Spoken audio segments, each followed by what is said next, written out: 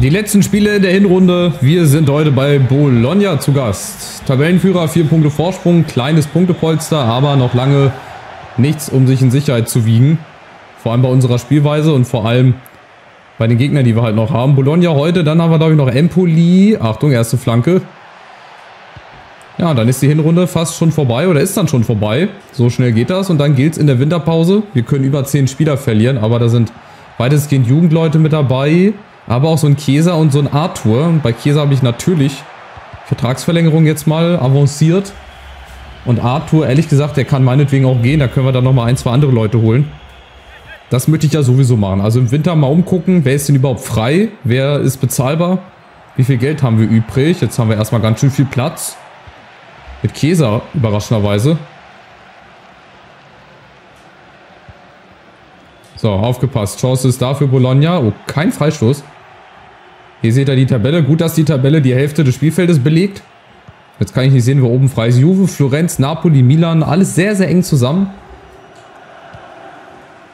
Deswegen, wir müssen wirklich zusehen, so viele Punkte wie möglich holen. Die anderen, die können auch mal eine gute Phase haben, einen Run und wir halt wieder nicht. Das ist ja Wahnsinn. Auch Talischka, guckt euch das mal an, wie viel Platz wir haben. Das ist ja so ähnlich wie... Gegen wen war das denn? Ich weiß gar nicht mehr, aber in irgendeinem Ligaspiel hatten wir auch eine Mannschaft, die hat sich total hinten reingestellt. Auf Tiefe 10 ungefähr zurückfallen lassen. Da hatten wir auch echt ganz, ganz viel Platz, um uns da in Strafraum vorzukombinieren. Schönes Kopfballtor. 1-0 Bremer. Mal ein ganz anderer Torschütze. Und was für ein schöner Kopfball. Schöne Flanke, die lag wieder in der Luft, da liegt Schnee drauf immer noch. Und dann setzt er den richtig schön hinten rein. Gute Vorlage von Pogba und Bremer. Steigt hoch. Schöner Kopfball, musste erstmal so platzieren. Hier sehen wir das nochmal besser mit dem blinkenden Kopf. Hat gerade die Superkräfte aktiviert. Der Ball steht fast in der Luft. Schöner Kopfball. Und Pavlenka. Ist das Pavlenka im Tor? Oder habe ich den Namen falsch gelesen? Nee, ist nicht Pavlenka. Also 1-0. Bremer. Haben wir noch nicht gehabt als Torschützen, ne? Entweder Chiesa oder Flauwitsch oder Talischka. Apropos Flauwitsch. Der will schon wieder. Der darf auch vielleicht nochmal. Oh, wieder viel Platz. Das ist eigentlich auch ein willkommener Gegner für uns, die Spielweise. Stehen ganz schön weit hinten. Ganz, ganz weit hinten. Achtung, Bologna! Mit Aitor. Den habe ich schon wieder drin gesehen. So schwungvoll, wie der aufs Tor kam. Aber Gott sei Dank dreht er sich weg. Und landet nur an der Hintertorhalterung. Das hätte auch ganz anders ausgehen können. Aber gut, ein Glück ist das nicht. Und wir machen weiter. Wie immer über die Außen natürlich. Oh Gott, wir haben echt viel Platz da. Das ist ja Wahnsinn. Da kann gefühlt unser Keeper mit nach vorne. Und wieder Pogba. Ist durch die Grätsche nicht zu stoppen. Und jetzt Zakaria. Da stand doch weit und breit keiner. Das ist wie damals als Ronaldo, als er da an der Ein-Mann-Mauer scheiterte gegen Deutschland bei der WM 2014. Genauso fühle ich mich immer mit meinen Schüssen von Weiten. Achtung. Mal ein Ball, der vorne lang rausgeschlagen wird. Ist auch selten bei mir. Oh, großer Fehler. Pongracic. Gegen Flauwitsch. Die beiden Großgewichte. Ah, nein. Flauwitsch. Zu weit vorgelegt. Oder falsch vorgelegt, sagen wir mal so. Oh, nächste dicke Chance. Ey, wir lassen so viel liegen. Wir müssen schon längst mal auf 2-0 gestellt haben. Achtung. Und Castells nutzt all seine Körpergröße aus. Die haben auch Chancen und das viel zu leicht wieder. Die kommen wieder viel zu einfach vor unser Tor. Oh, Talischka vergisst den Ball.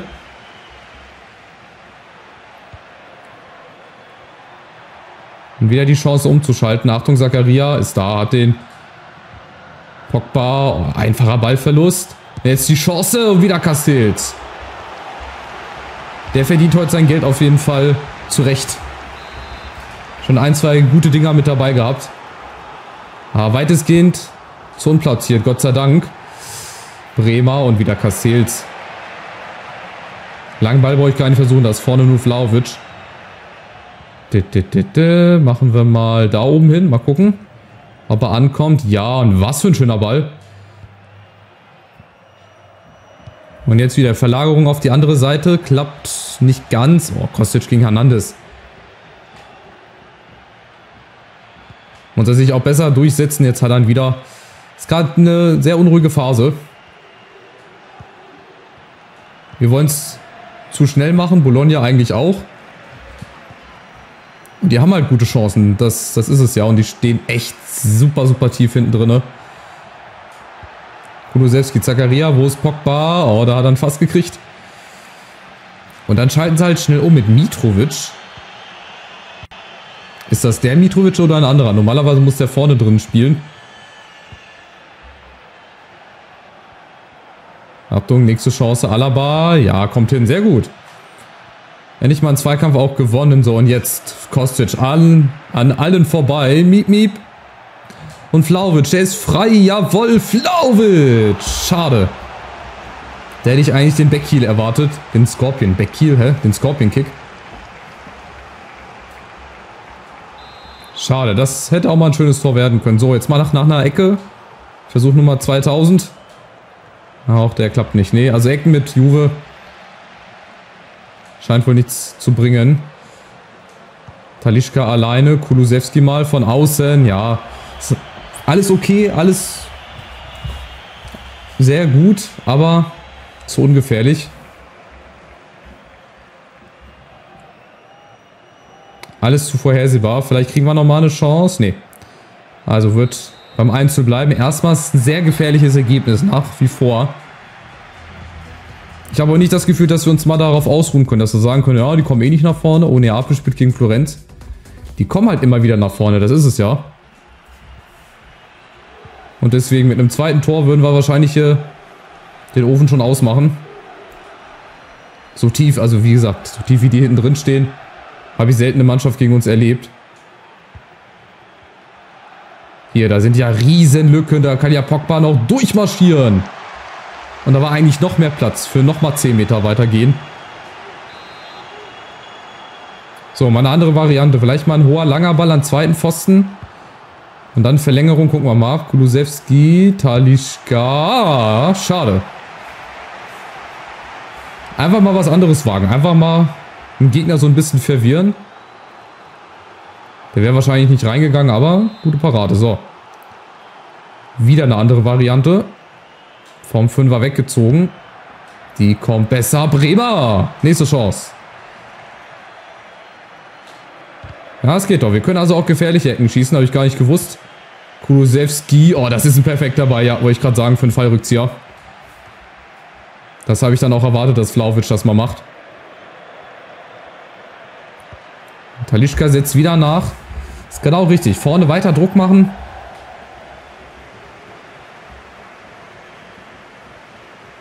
Bei Bologna kommt Tresor rein. Hoffentlich wird der nicht geknackt. Apropos geknackt. Auf die drei Abwehrkette zu. Mit Talischka, mit Kesa, Vlaovic. Ja, Verwirrung wieder ein bisschen Ping-Pong und Bologna befreit sich. Und fährt den Konter. Über Ruibal, Hernandez. Indika ist da mit Bremer. Achtung, jetzt fallen sie wieder übereinander her. Jungs, macht das doch hinterher beim Duschen vielleicht. Übereinander herfallen oder irgendwo anders. Aber nicht auf dem Platz. Das wäre sehr, sehr ungünstig. Achtung, Bologna. Oh, die laden mal wieder ein zum Tore schießen.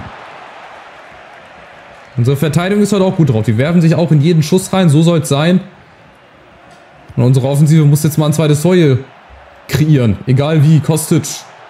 Hinten Talischka winkt schon. Kriegt er den? Der kriegt den! Und jetzt ist es da. 2-0, 62. Endlich. Das, was schon lange überfällig war und so bitter nötig. Und Anderson Talischka, überlegt euch mal, und das im Fünfer, ich meine, da seht ihr ja, wenn der Torwart da nicht mal rauskommt, wie tief die wirklich drinne stehen.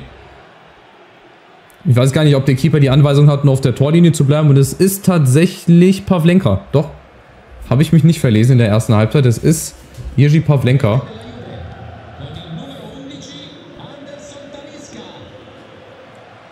Ja, aber auch das 2-0. Das sehe ich noch nicht als sicher. glaube beim 3-0 dann schon. Das ist ja Wahnsinn, ey. Dann spielen die aber auch mit einer Dreierformation. Irgendwas muss ja da sein. Dass wir da so viel Platz haben. Guck mal, die Flügelleute können sich die Bälle hin und her spielen. Da weißt du schon alles ins Gesicht. Zack, einmal Headshot. So, auch von der anderen Seite mal. Wieder in Fünfer gezielt. Vom Tor weg, wenn der Keeper eh nicht rauskommt. Macht er auch nicht wieder Bremer und Zakaria. Knallt er mit Pavlenka zusammen. Und auch das sehr, sehr ungefährlich, Gott sei Dank. Also Bologna ein dankbarer Aufbaugegner. Vielleicht auch mal wieder ein Spiel, wo wir zu Null spielen. Wäre ja auch nicht schlecht fürs Torverhältnis, obwohl wir da eigentlich auch ganz gut stehen. Also da möchte ich wirklich nicht meckern. Wieder Talischka. Nee, das war zu ungefährlich. Und so ernährt sich mühsam halt das Eichhörnchen. Holen wir wieder drei Punkte. Behalten weiterhin unseren vier Punkte Vorsprung. Und dann gucken wir halt natürlich immer auf die Konkurrenz. Wenn die auch mal irgendwann patzen sollte wieder. Das kann dann wirklich eine richtig gute Rückrunde werden. Ja, Pavlenka, was hat er vor? Was macht er? Er weiß nicht wohin. Er kann nur weg. Und natürlich kommt er zum Mitspieler an. Ja, hab ich doch geahnt, Junge. Dafür spiele ich seit über 10 Jahren FIFA. Wenn nicht sogar noch mehr, um das vorher schon zu wissen. Aufgepasst, Bologna kommt aber schön durchgesteckt. Und die große Chance zum Anschluss durch... Tja, durch wen wohl? Durch Hernandez vorne? Ah ne, durch Taremi. Ah ja, Taremi. Ist er nicht bei Porto in echt? Irgendwo da meine ich den erwähnt zu haben oder gesehen zu haben. So, und wieder selbes Spiel über die Außen. Kulusewski allein gegen alle. Im Strafraum. Oh, jetzt machen sie aber Manndeckung gefühlt. Ja, da spielen sie zu schnell, dann ist er im Aus. Also ich glaube, dass das Ding jetzt schon durch ist. Bologna macht mir jetzt nicht so den Anschein, dass sie wirklich noch hier mir ernsthaft gefährlich werden wollen. Ja, es, es klappt einfach nicht. Ich kann diesen Powerschuss einfach nicht machen. Ich glaube, wenn Pogba da mal drauf zimmert, der hat da eine gute Schusstechnik. Ich glaube, der hätte ein bisschen was draus machen können. Achtung, Bologna ist doch nochmal da. Weil wir sie wieder einladen. Bremer auf der Außen. Kommt keiner mit hin. Pfosten. Okay, die sind doch wohl noch nicht ganz weg. Muss ich das Ganze nochmal zurücknehmen. Die kommen nochmal. Taremien jetzt aber. Von Dika geklärt. Wo geht Alaba hin? Ist noch nicht Schluss, Alaba. Kannst noch nicht nach Hause gehen. Aber bald. Bald ist es geschafft. Vier Minuten noch mit Nachspielzeit. Das spielen wir jetzt auch wieder ganz kontrolliert hier runter. Und dann ist es der zweite Sieg in Folge. Auch selten, dass wir mal zwei Siege in Folge holen. Hatten wir bestimmt schon mal, aber schon eine lange Zeit her gefühlt. Kulusewski auf Vlaovic, richtig gut gemacht. Der hat viel zu viel Platz. Schöner Schuss. Ja, irgendein Kunststück traue ich dem auch noch zu. Irgendwie in der Saison. Mal ein Fallrückzieher aus 20 Metern oder so. Nochmal Talischka. Kostic. Oh, Kulusewski zu weit. Ja, zu weit. Naja, egal. Ist nicht mehr spielentscheidend. 2 zu 0. Oder vielleicht sogar noch eins. Mal gucken. Eine Chance kriegen wir noch. Chiesa. Gut. Also nochmal eine Ecke, dann haben wir das Ding gleich. Nochmal auf Chiesa und Bremer kommt da nochmal. Ne, jetzt aber. Jetzt ist Schluss. Nach 94 Minuten 2 zu 0 Sieg. Wir setzen uns weiterhin oben fest. Hoffen natürlich immer, dass die Konkurrenz auch gepatzt hat. Warum ist unser Auswärtsblock nie voll? Ist das so weit von Turin nach Bologna? Verstehe ich gar nicht. Auch hier wieder über 20 Schüsse oder sage ich mal an die 20 Schüsse. Ich glaube 18 oder 19 waren es.